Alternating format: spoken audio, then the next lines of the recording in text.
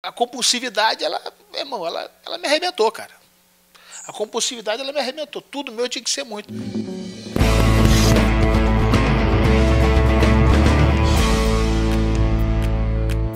Uma das suas maiores paixões, inegavelmente, são os cachorros. É um dos caras que eu conheço que mais ama um cachorro que eu já vi na minha vida. Você nem sabe quantos cachorros você teve na tua vida. É, é inúmero, não dá pra contar. E, são mil histórias, né? Já capotou com cachorro e, largou o carro pra lá pra, pra catar os cachorros. Que se dane o áudio, eu vou catar os cachorros. no carro não tinha nem seguro, mas eu vou os cachorros é que eu vou salvar. É, fala pra mim um pouco do que representa essa paixão. O que, que você explicaria esse amor tão imenso pelos doguinhos, brother. Eu, eu, sou, eu amo o Berola, o Berola é meu filho, sacou? O Berola, um beijo, Berola. Mas eu quero ouvir de um, de um cara que eu sei que, que gosta de cachorro, consegue me superar. Cara, eu acho que é o melhor amigo do homem, entendeu, cara? É, é um bicho que, cara, você pode fazer o que você quiser com ele, que ele tá sempre te olhando, sempre querendo teu carinho, sempre querendo tua companhia, entendeu? E, cara, ainda mais os pitbulls, que, pô, são cães que né, que demonstra tudo aquilo que um lutador deveria ter, né? Honra, lealdade, poder, força, entendeu? Ser, porra, avesso à covardia, enfim, é isso aí mesmo. Entendeu? Por isso. É, e virou uma cachaça que comecei a criar, criar, criar e gostei. É uma. É um hobby, é um hobby caro, mas. Qual foi o recorde, assim? Quantos cães no apartamento já teve? Ah, no apartamento eu botei 18, cara. Loucura, 18. loucura, loucura. No apartamento, você tá falando de casa, não. No apartamento só 18. Foram 18, foram 18. é, meu irmão. E aí, Paulão, eu lembro de uma entrevista que hoje em dia você tem um canal no YouTube, tá dando prosseguimento? Não, eu tive um problema ali, cara. Tive um problema, infelizmente o rapaz eh, passou a perna de um jeito muito louco. Essa história vai ser longa, deixa isso pra lá. Não tenho, não. Tá. Não tenho, vou, vou, espero ter. Porque a gente sabe que você é um cara super articulado, tá com a dicção muito boa de novo, a gente já vai tocar nesse assunto. E a internet abriu espaço para vários lutadores provarem que são excelentes comunicadores. Eu acho que foi na live do Murilo, se eu não me engano, e que também foi um tremendo de um comunicador quando ele se, é, quando ele se propôs a fazer as lives pelo Instagram. Ele foi muito bem conduzindo as entrevistas e ele tocou num, num eu não sei se foi no Murilo, eu acho que foi e que aquilo me marcou muito. Que você estava falando justamente dos cachorros, mas que a sua maior vontade na vida era ter a perpetuação, ter tido um filho. Como é que é isso, Paulão? Você agora com 43 anos, você não teve um filho, é um dos arrependimentos que você tem na sua vida? Sem dúvida, né? Eu acho que eu não encontrei, não, tinha, não encontrei a pessoa correta, né? Encontrei. E, cara, vamos ver daqui para frente, né? Como as coisas vão acontecer e vambora. Mas realmente, o filho é o filho, né, cara? Deixar um pedacinho seu aqui, né? Deixar um, uma história, um legado é muito bacana. Isso aí é, acho isso fundamental. Ainda tá na missão. Se Deus quiser, né? Paulo Neto. É, vou dar outro nome. Vou dar outro nome. vou dar outro nome. Vou escolher o um nome mais bonitinho. e aí, Paulão, quando tivesse o. Quando vier o, o herdeiro. Cara, você é um cara de todas as experiências possíveis. Todas, todas. Altos e baixos. Para começar, para a gente já começar a entrar num assunto mais delicado e que é uma oportunidade imensa de uma mensagem construtiva. Como é que você educaria o seu filho? Quais seriam as prioridades nos conselhos? Cara, prioridade é não forçar nada, né? Educação, escola, tem que estudar tem que estudar, ponto final. Estudar, estudar, estudar. E o que ele vai querer fazer é com ele. Né? Gostaria muito que, né, o dia que tiver um filho, se eu for ter um filho, se, se Deus me der essa oportunidade, que ele seja feliz, mas ele vai ter que estudar. A primeira coisa é isso. E eu vou tentar mostrar para ele, ou para ela, dentro, dentro da minha casa, com a minha experiência, porra, o certo, né, bicho? o certo. Eu acho que a criança com informação, né, o ser humano com informação, ele, ele consegue discernir melhor as, as oportunidades, as situações da vida, entendeu? E é isso, vai estudar. E, e o resto ele escolhe, ou ela escolhe. E na hora da escolha, de da curiosidade e da descoberta com as drogas. Rapaz, é complicado. É, nesse, nesse momento que a gente vive, né, nesse período que a gente vive de né, muita coisa acontecendo, né, os valores se invertendo, escola, enfim.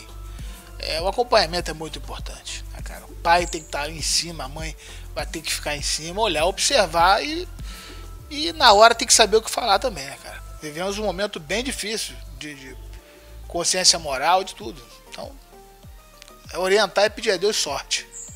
E nesse aspecto você poderia falar por experiência própria, porque não é segredo para ninguém, é notório, é público que você teve problemas com drogas e como eu disse, te conheço há muito tempo.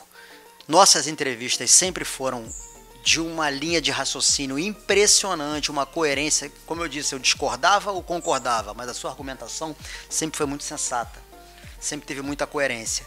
E durante um período, a situação se agravou, muita química, a sua dicção ficou mais confusa e você tá de novo, com exceção do excesso de peso. vem, lindão, vem. Olha a câmera. Tá rolando, deixa rolar. É tipo ao vivo. Só soma. E é cachorro, né, meu irmão? Imagina se eu vou esculachar um dog na frente do Paulão. Mas, é o que eu tô te falando, com, tirando o excesso de peso, a sua dicção e a sua forma de pensar, para mim, voltaram a, voltaram a clareza e a sensibilidade. Sim, certeza, pô. Eu tô aqui passando uma temporada com a Tia Vera, com a Flavinha, com o Pedro, grande amigo. A Rose sempre me ajudando, né? Sempre.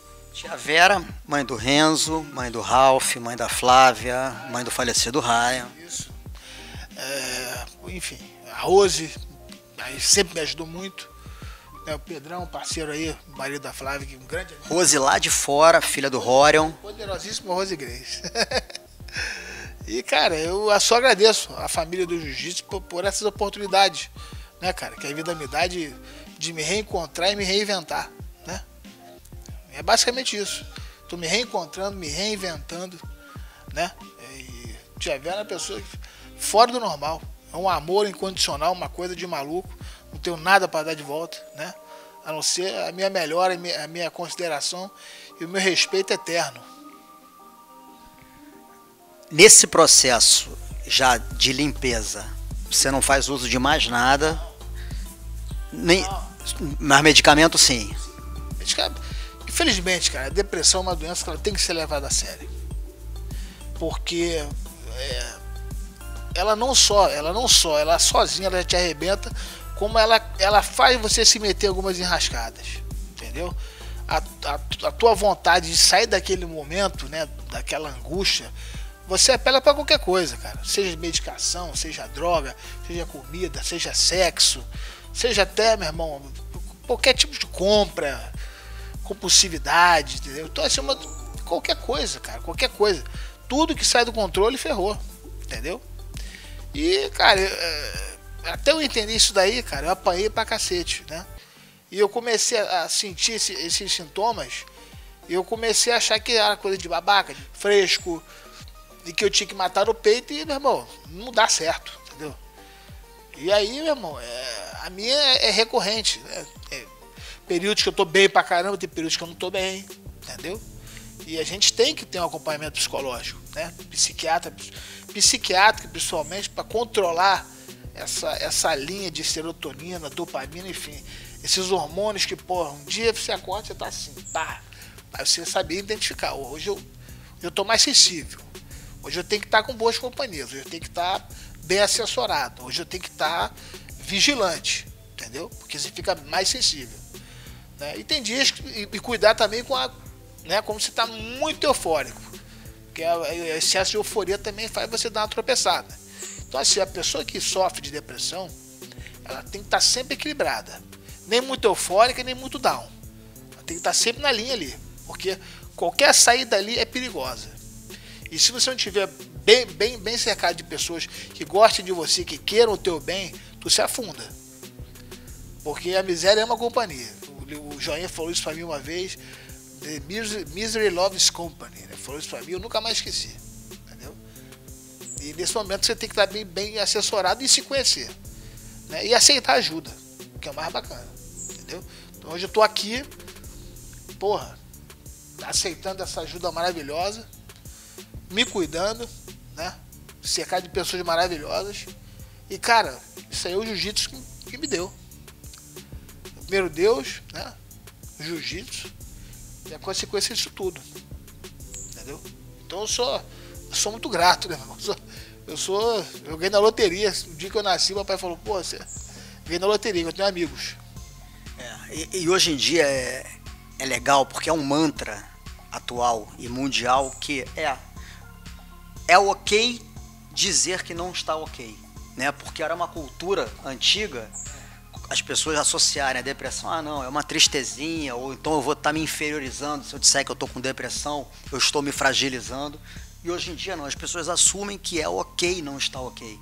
E isso já é um primeiro momento, já é um primeiro passo em direção à cura. Primeiramente, ser honesto. Tem que ser honesto, né? Porque a depressão ela vem, ela vem disfarçada de várias situações, né? Às vezes pode ser uma compulsividade, às vezes pode ser um vazio existencial que foi aconteceu comigo, um vazio, cara. Nada preencher. Por que, eu tive tanto cachorro? Porque um só não, não, não bastava. Esse é tigrado, não, mas eu queria um vermelho. Ah, mas também tem o, o amarelo, mas tem o amarelo com branco. Ah, mas tem um cinza, entendeu? Nunca tá bom. Aí quando eu ganhei o cinturão lá que eu defendi com o Tchau Sonnen, pô, ganhei o cinturão, número 2 no mundo, ficava ali teu e dois, tinha, tinha fora que me botava em primeiro, o cara invicto, porque tinha perdido uma luta, nunca tinha lutado com o Anderson, por que ele era, ele era o primeiro, era o segundo, entendeu? Porque ele tinha feito mais alguma coisa, né? Anderson, grande atleta, não tô aqui polemizando não, tô só explicando. E, cara, é, a compulsividade, ela, irmão, ela, ela me arrebentou, cara. A compulsividade, ela me arrebentou. Tudo meu tinha que ser muito. E, cara, quando eu cheguei naquele. Aí bateu o vazio, aquele vazio, pô, mas pô, é só isso? É só isso? Pô, aí começou só isso, só isso. Aí começou mesmo, a busca. Aí vai em psiquiatra, sei o que, aí dá um ralé com o amigo, aí experimenta uma, uma substância. Pô, te joga lá em cima, legal, pô, te joga lá embaixo. Aí você começa a ficar perdido, cara. Aí você começa, porra, nada pra cá, nada pra lá. Pô, tu viu, tá no meio do oceano de, de sentimentos, de emoção. Tendo que dar explicação, entendeu? Que a pior coisa do mundo é você ter que se explicar, é uma merda, entendeu? E, cara, eu, eu, eu falo o seguinte: é, quem tem esse problema tem que se cuidar, tem que tratar. E quem acha que tem, é, também tem que se cuidar, porque é silenciosa, é mortal, entendeu? E ela, ela realmente ela acaba com, com a tua vontade de viver. Entendeu, cara? É, ela é poderosa, cara. Ela é poderosa, é perigosíssima. E no seu caso teve a agravante também que você também teve a síndrome do pânico. É, é juntou. O meu, o meu foi, foi hipocondria, síndrome do pânico e depressão, né? É, são todos trans, transtornos da ansiedade, todos, né? sem tirar nem pôr. Todos transtornos de ansiedade. E, cara, Ansiedade, você começa, né? Aí uma hora pipoca, tô doente, alguma coisa vai acontecer. Se acontece alguma coisa de bom, você acha que, porra, vai vir uma merda por aí. Entendeu? E pânico. Pô, pânico tava nos lugares assim, cara. Começava a vir gente, parecer gente, começava. E, cara, tudo muito numa época que, pô, isso aí não era tão. Hoje em dia as pessoas acham. É por isso que eu digo, as pessoas acham legal falar, ah, estou deprimido. Será que tá, cara? Será que tá? É uma doença muito poderosa, eu acredito, mas tem muita gente que fica fantasiando, não, é uma coisa séria, tem que levar a sério mesmo, sabe? E respeitar, mesmo que não concorde, ah, isso é falta de vergonha na cara, beleza. Mas eu, eu acho que é um ponto, ainda mais pós-pandemia, né? É tudo muito novo ainda, né? a gente não está fora, a, não, a pandemia não acabou, né? Muita coisa vai acontecer ainda, eu acredito.